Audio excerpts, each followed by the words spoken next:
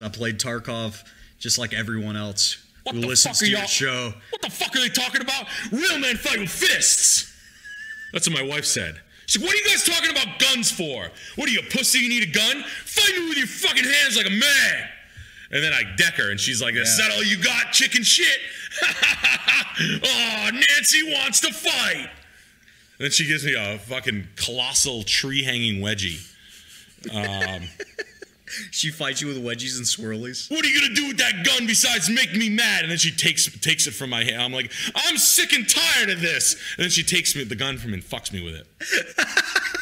yeah, yeah, yeah. Uh, Got you.